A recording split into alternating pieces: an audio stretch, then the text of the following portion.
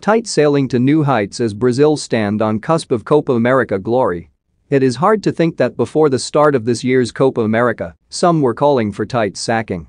Those calls stemmed on the uncertainty of the Selecao's participation after CONMEBOL controversially relocated the event from Argentina to Brazil. The Brazil squad were united against hosting the Copa on home soil amid the coronavirus pandemic. The defending champions eventually committed to representing their country, and now they stand on the cusp of another title with Tite at the helm. On an historic night for Tite Brazil moved through to a second consecutive Copa final at the expense of 2019 runners-up Peru 1-0 on Monday.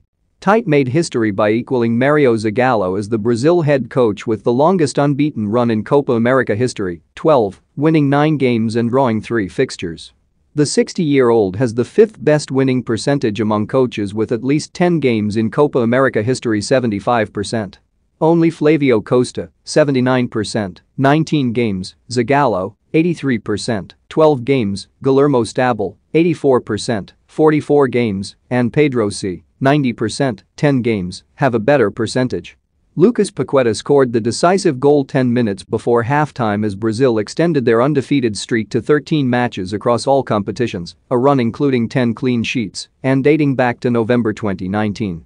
Since his appointment in 2016, Brazil have kept 42 clean sheets in 60 games under head coach Tite across all competitions, 70%. During his tenure, Brazil have 45 wins, 11 draws and just 4 defeats. This Brazil team have style and substance, trademark flair and free-flowing football but with defensive stability and the ability to close out games. As Brazil, who have won the last five Copa finals they have played, 1997, 1999, 2004, 2007 and 2019 await rivals Argentina or Colombia in Saturday's deciding